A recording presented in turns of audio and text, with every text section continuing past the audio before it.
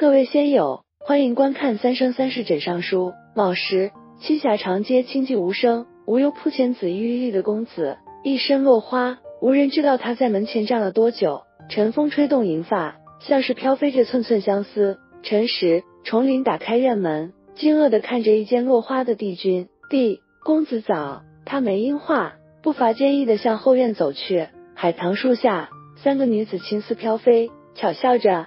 在光影下打理一头秀发，爹爹，白桦跑向东华，他伸出手揉了下白桦的头，眼睛盯着凤九，径直走了过去，像是那树下只有他一人。小白，他轻身向前，凤九看着他的眼睛，手里玉梳滑落，脚下无力的靠在了海棠树上，心砰砰的跳着，一双望向他的眼睛一眨不眨。东华这是要？他伸出双手，凤九感觉自己绵软的正从树干上下滑。他的手越过她漆黑的秀发，撑在树上，耳畔只有砰砰的心跳声。小白，我喜欢你。他一双深幽的眼睛盯着他，为其他回答又道：“我想知道你喜不喜欢我。”明明是自己的夫君，心跳的却不像样子。他说喜欢，又像怕他没听见，加重了语气：“我喜欢。”他胸中重石落下，紧绷的身体松软下来，一双撑住树的手像柳絮一样无力了。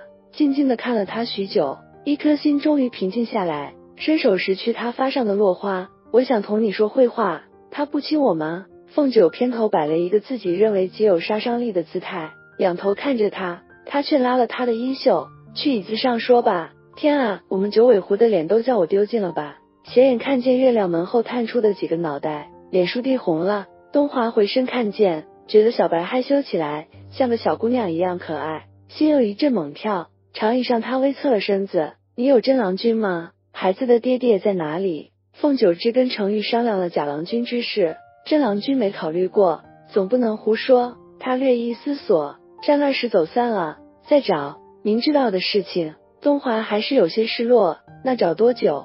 找不到呢。凤九觉得自己好像又挖坑了，看着他的眼睛想，要不生扑做饼，反正是自己夫君，也别要面子了。东华看他不说话。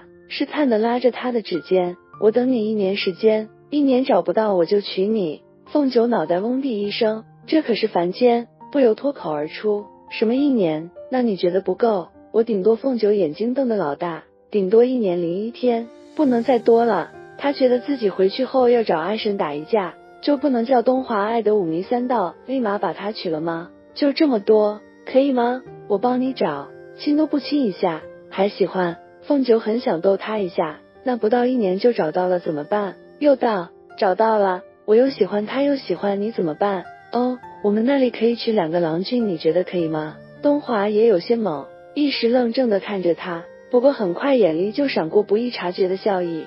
他不会叫他找到的，找到了也埋了，反正几个孩子也喜欢他。他把他的手拢进自己的手心里，我会娶你的。天啊，老东华这是多厚的脸皮！强强有夫之妇啊！程玉抓抓勺碗的长发，没得可演了。早点回去吧，将来我们都得进他后院的大坑。小燕聪明的拍腿道：“对，我先回去把坑填上。”程玉看着三个孩子，得，今后我们天天的去小玉山吹风了。小院春色正浓，东华握着他的手，有暖暖倦意袭来。小白，我想睡会，站了一夜累了。一夜，嗯，我要在第一缕晨光时向你表白。凤九心里流淌着甜甜的蜜汁。东华到了凡事也是那么会浪漫的人，表白都要第一缕晨光。我想睡。凤九看着他脸倏地一红，挪向长椅的一头，你枕在我腿上可好？东华偏头看着他，是不是自己太不矜持了？这可不是天上的东华。他又红了脸，嗫惹道：“要不你进去睡也可，我喜欢。”他躺在他的腿上，想着四明那本书上说，表白后多久可以亲来着。头顶飘来低柔的歌声，这歌声像是一直就飘在他心海深处。他手轻轻揉着她的银发，暖暖的阳光，困意袭来，他伸出双手圈上她柔软的腰肢睡了。凤九看着怀中英俊的脸，想起有本书上说过什么柳下惠坐怀不乱的句子，可他是真乱啊！明日的去问问司命有没有写过什么，拿下柳下惠的书，亦或者干脆给东华吃点春草肉更好。想着自己也合上了眼睛。东华这一觉着实睡得深沉，他几乎两日夜没睡，表白后心中无事睡得香甜。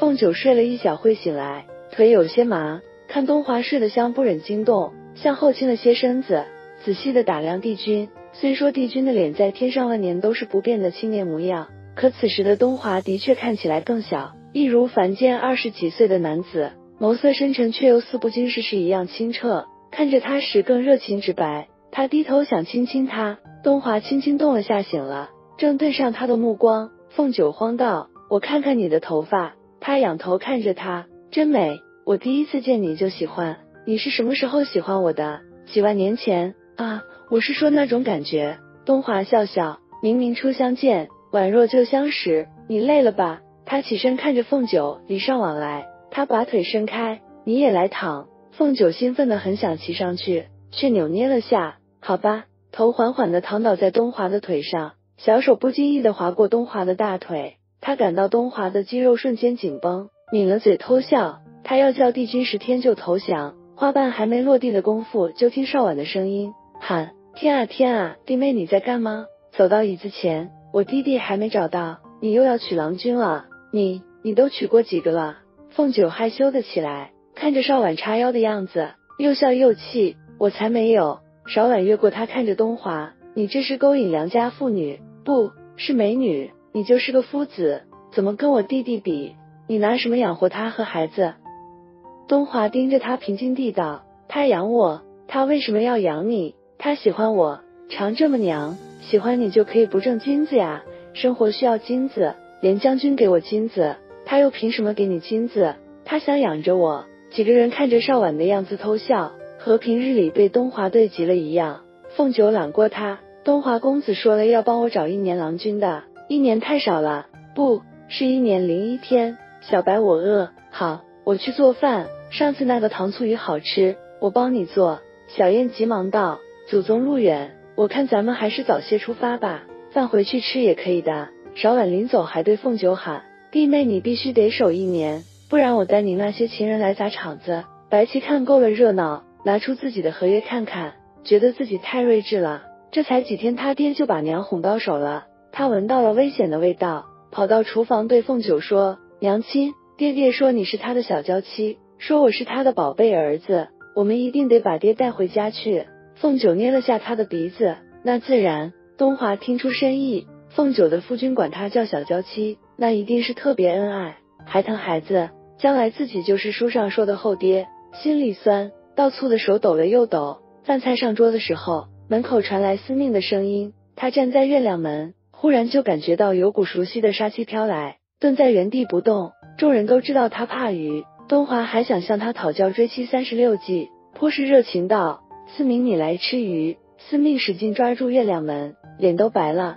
凤九笑道：“东华，他吃鱼过敏。”司命松了一口气，果然还是小殿下心善。还有吃鱼过敏的，帝君又给仲林家，觉得这个伙计最好了。重林端着碗里的鱼，手微微抖了下，一点点吃。凤九想，这到了凡事不可能做出同一个水平的鱼，率先尝了一口，俩字：要命。笑道：“东华。”这个稍微缺点盐，我去加点。顺手也拿走了仲林的碗，一会再上桌的鱼被几个孩子一抢而光。东华挺开心，觉得先把孩子搞定，日后天天给他们做鱼吃。饭后聊天，东华又追问了许多事情。